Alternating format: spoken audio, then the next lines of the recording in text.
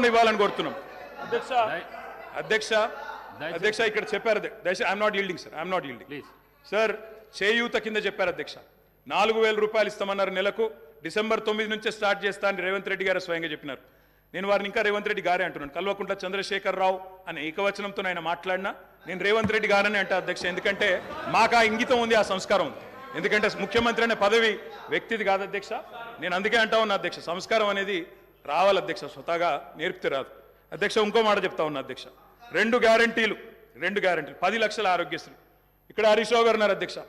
హరీష్ రావు గారు వైద్య ఆరోగ్య శాఖ మంత్రిగా ఉన్నప్పుడే పది లక్షల ఆరోగ్యశ్రీ మేము అమలు చేసి సంవత్సరం దాటిపోయింది సార్. అది వారికి తెలియదు తెలియదన్న విషయం తెలియదు తెలుసుకునే ప్రయత్నం చేయరు. అవగాహన లేదు అనుభవం లేదు. ఇక నడుస్తూ ఉంది అధ్యక్ష. ఢిల్లీ నుంచి నామినేట్ అయి వస్తే గట్లే ఉంటుంది అధ్యక్ష. అధ్యక్ష రెండు గ్యారంటీలు అమలు చేసినాం అనేది అచ్చు తప్పు. రెండు గ్యారంటీల్లో మీరు అమలు చేసింది పావలా వంతు కూడా కాదు. ఇది ప్రజలను మభ్యపెట్టడమే బుకాయించడమే తప్ప ఇంకోటి కాదు.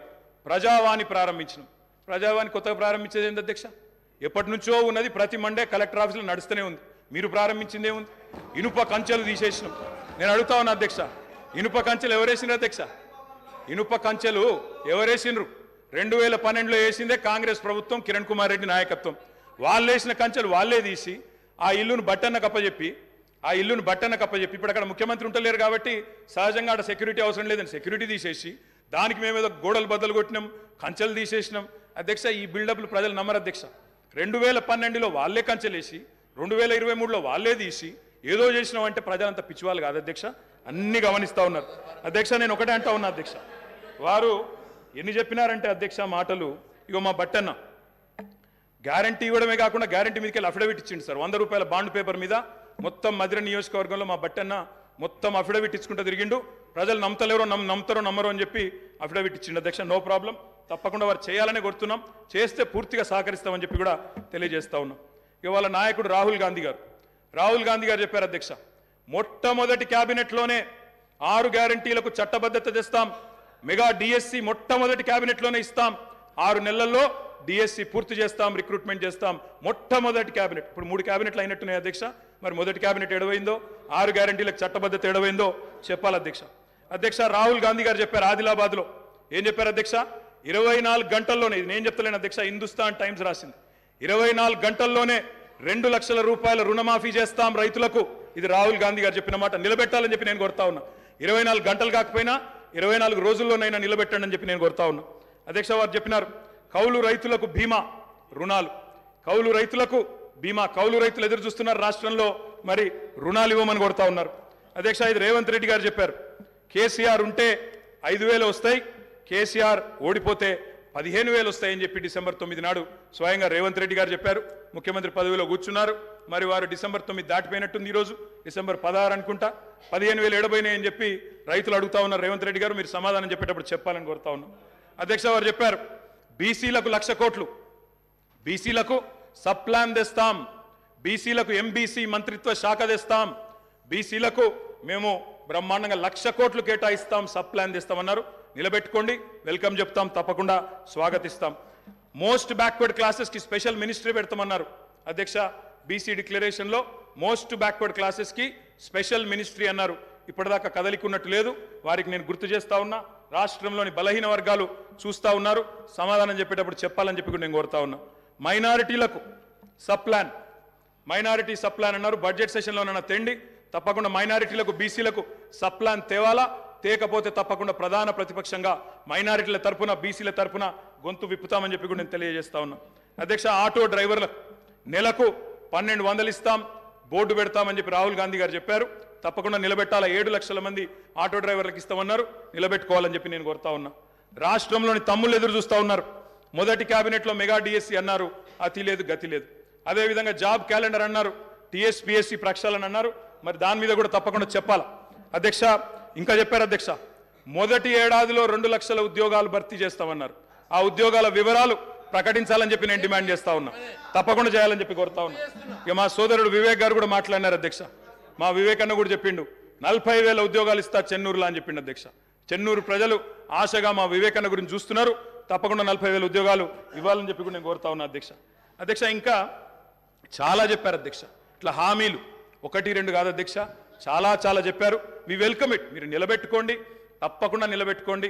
తప్పకుండా బ్రహ్మాండంగా పనిచేయండి. మేము చేసిన దానికంటే ఎక్కువ పనిచేయండి మేము చేసిన దానికంటే ఎక్కువ పేరు సంపాదించుకోండి. అరవై నాలుగు కాకపోతే ప్రజలు మీకు ఇంకా ఎక్కువ ఆశీర్వాదం ఇస్తారు. తప్పకుండా చేసుకోండి మాకు అభ్యంతరం లేదు. అధ్యక్ష ఇంకొక మాట. గవర్నర్ ప్రసంగంలో చెప్పారు అధ్యక్ష మాకు చాలా రాజ్యం తెచ్చినాం. ఇందిరమ్మ రాజ్యం తెచ్చినాం ఇందిరమ్మ రాజ్యం తెచ్చినాం ఇందిరమ్మ పాలన తెచ్చినాం అంటే మరి ఇందిరమ్మ పాలన గుర్తు చేయాలి కదా సార్? ఇందిరమ్మ పాలనలో గంజి కేంద్రాలు ఉండేది గుర్తు చేయాలి. ఇందిరమ్మ పాలనలో కరెంటు లేనిది గుర్తు చేయాలి. ఇందిరమ్మ పాలనలో నిర్బంధాలు గుర్తు చేయాలి. ఇందిరమ్మ పాలనలో నియంతృత్వం గుర్తు చేయాలి. ఇందిరమ్మ పాలనలో ఎమర్జెన్సీ రోజులు గుర్తు చేయాలి. ఇందిరమ్మ పాలనలో ఆర్టికల్ మూడు వందల అరవై ఐదుని ఎట్లా యూజ్ చేసి ప్రజాస్వామికంగా ఎన్నుకున్న ప్రభుత్వాలను రద్దు చేసినో గుర్తు చేయాలి. ఇందిరమ్మ పాలనలో ఎట్లా ముల్కీ రూల్ను తుంగలో దొక్కినో గుర్తు చేయాలి. ఇందిరమ్మ పాలనలో ఎట్లా రాష్ట్ర ప్రభుత్వాలను ఒక నియంతలాగా శాసించినో గుర్తు చేయాలి. ఇందిరమ్మ పాలనలో ఎట్లా ఇంటింటికి తాగునీళ్ళు ఇవ్వలేని దుస్థితులను గుర్తు చేయాలి. ఇందిరమ్మ పాలనలో ఎట్లా అయితే గరీబీ హటావో అని నినాదం ఇచ్చి మర్చిపోయినో గుర్తు చేయాలి. రాజశేఖర రెడ్డి గారిని గుర్తు చేసుకున్నప్పుడు కిరణ్ కుమార్ రెడ్డి గారిని గుర్తు చేసుకున్నప్పుడు వారు తప్పకుండా మేము కూడా అన్ని చెప్పాలి కదా సార్. పోతిరెడ్డి కా పోతిరెడ్డి పాడు పొక్కదవి నీళ్ళు తీసుకుపోతుంటే హారతులు పట్టిన వాళ్ళ సంగతి చెప్పాలా? హంద్రీనివాకు హారతులు పట్టిన వాళ్ళ సంగతి చెప్పాలా? తెలంగాణకు అన్యాయం చేసిన ప్రతి ఒక్కరి సంగతి చెప్పాలా? కేవలం సెలెక్టివ్గా తలుచుకుంటాం. ఇందిరమ్మ పేరు అవసరం వచ్చినప్పుడు తలుచుకుంటాం. లేకపోతే తలుచుకోమంటే ఎట్లుంటుంది అధ్యక్ష? కాబట్టి తప్పకుండా చెప్పాలా? చరిత్ర అనేది దాస్తే దాగేది కాదు. అధ్యక్ష ప్రగతి భవన్ పోయి ప్రగతి భవన్కు పోయి అక్కడ కేసీఆర్ గారి పేరు మీద మట్టి పోయంగానే చరిత్ర మరుగున పడిపోదు అధ్యక్ష. తప్పకుండా వాస్తవం వాస్తవాలు వాస్తవాలుగానే ఉంటాయి. వాస్తవం ఏంది అంటే యాభై ఏండ్ల గోస తర్వాత కలిసొచ్చే కాలానికి నడిసొచ్చే కొడుకు కేసీఆర్ తెలంగాణకు తెలంగాణ తల్లిని దాస్య శృంఖలాలు తెంచిన కొడుకు కేసీఆర్ గారు అధ్యక్ష. ఇవాళ వారు మాట్లాడినారు గవర్నర్ గారు. మార్పు మార్పు మొదలైంది నిర్బంధం పోయింది అన్నారు. అవును అధ్యక్ష మార్పు మొదలైంది నిర్బంధం పోయింది. ఎప్పుడు పోయింది అధ్యక్ష నిర్బంధం? జూన్ రెండు రెండు వేల పద్నాలుగు. జూన్ రెండు రెండు వేల పద్నాలుగు నాడు దాస్య శృంఖలాల నుంచి శ్రీశ్రీ గారు చెప్పినారు అధ్యక్ష. బానిసకొక బానిసకొక బానిస అని. దరిద్రం ఏంటంటే అధ్యక్ష గ- దరిద్రం ఏంటంటే గతంలో మనల్ని పీడించిన వాళ్ళు పోయినారు.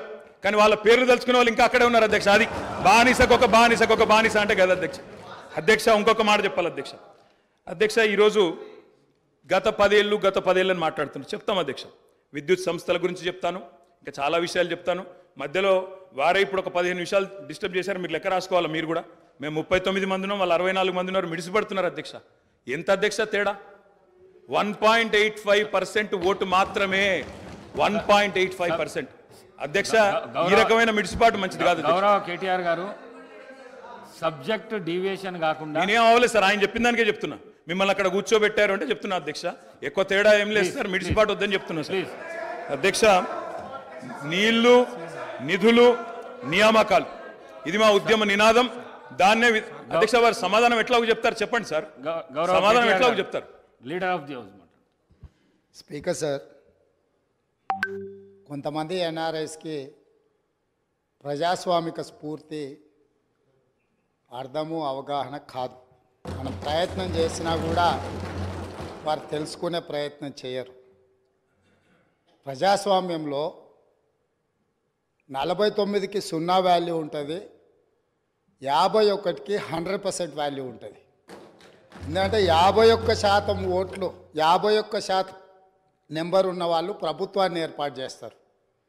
నలభై తొమ్మిది శాతం ఉన్నవాళ్ళు ప్రతిపక్షంగా కూర్చొని ప్రభుత్వం తీసుకునే పరిపాలనలో నిర్ణయాలను శాసనాలను సహేతుకంగా విశ్లేషించి సలహాలు సూచనలు ఇస్తారు. సలహాలు సూచనలు ఒకవేళ ప్రభుత్వము పెడచెవిన పెడితే నిరసనలు ధర్నాలు రాస్తారోకలు చేస్తారు. అవసరమైతే ఆమరణ నిరాహార దీక్షలు చేసిన కూడా సందర్భాలు ఉన్నాయి. ఆ స్పిరిట్ను తీసుకోవాలి తప్ప వాళ్ళు అరవై నాలుగు ఉన్నారు. మేము ముప్పై తొమ్మిది మంది ఉన్నాం. మేము అచ్చోసిన ఆంబోతుల్లాకున్నాం మేము పోడియంలోకి వచ్చి కుస్తీలు కొట్లాడతాం. ఈ రకమైన భాష వారి గౌరవానికి కానీ ఈ సభను నడిపించుకోవడానికి కానీ సహకరించదు.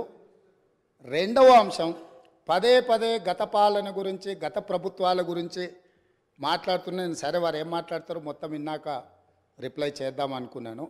కాకపోతే నా రిప్లై కోసం వారు తహతహలాడుతున్నారు. గత పాలనలో యూత్ కాంగ్రెస్ వైస్ ప్రెసిడెంట్గా కల్వకుంట్ల చంద్రశేఖరరావుకు అవకాశం ఇచ్చిందే కాంగ్రెస్ పార్టీ. సింగిల్ విండో డైరెక్టర్గా ఎన్నికల్లో పోటీ చేయడానికి ఇస్తే కాంగ్రెస్ పార్టీ తరఫున నిలబడి ఓడిపోయిందే చంద్రశేఖరరావు. గత పాలనలో ఎంపీగా గెలిపించిందే కాంగ్రెస్ పార్టీ. గత పాలనలో షిప్పింగ్ మినిస్టర్ ఇచ్చిందే కాంగ్రెస్ పార్టీ.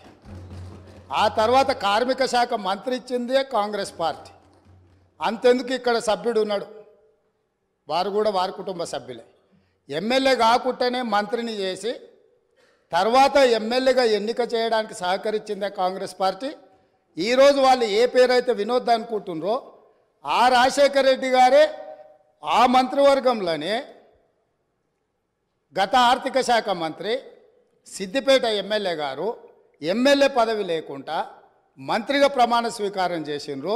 రాజశేఖర్ రెడ్డి గారి నాయకత్వమే దేశానికి బలమైన నాయకత్వం అని అందులో పనిచేసిండ్రు రెండో మూడవది పోతిరెడ్డి పాడు పొక్క పెద్దది చేసినప్పుడు కీర్తిశేషులు నాయన్ నరసింహారెడ్డి గారు కడప జిల్లా ఇన్ఛార్జ్ మినిస్టర్. ఆ రోజు కొట్లాడింది పోతిరెడ్డి పాడువిద కీర్తిశేషులు పి. జనార్దన్ రెడ్డి గారు.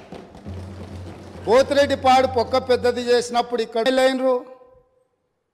వాళ్ళ తండ్రి గారి గురువైన చంద్రబాబు నాయుడు గారి పార్టీతో పొత్తు పెట్టుకుంటే ఆ పార్టీ మద్దతుతో ఆ కడువ కప్పుకొని సిరిసిల్లలో కష్టపడి పనిచేసి నిర్మించుకున్న చీమలు పెట్టిన పుట్టలో పాములు దూరినట్టు కేకే మహేందర్ రెడ్డి అక్కడ పార్టీని నిర్మించుకొని తెలంగాణ ఉద్యమంలో పాల్గొని తెలంగాణ ఉద్యమంలో ముందు భాగం నుండి నిలబడి కొట్లాడితే ఎన్ఆర్ఐ అంటే నాన్ రిలయబుల్ ఇండియన్ కింద మేనేజ్మెంట్ కోటాలో ఇక్కడికి వచ్చి టికెట్ తీసుకొని అక్కడ ఆ కేకే మహేందర్ రెడ్డి గారిని అన్యాయం చేసి ఈరోజు ఇక్కడికి వచ్చిండ్రు.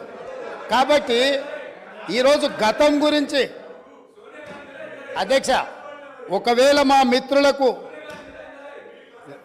ఒకవేళ వాళ్ళకు అంతగా గతం గురించి చర్చించాలనే ఆలోచన ఉంటే ఒకరోజు మొత్తం తమరు సమయం ఇవ్వండి తప్పకుండా జూన్ రెండు రెండు వేల పద్నాలుగు కంటే ముందు జరిగిన యాభై ఐదు సంవత్సరాల పరిపాలన మీద సంపూర్ణమైన చర్చ ఇక్కడ పెడదాము. ఈరోజు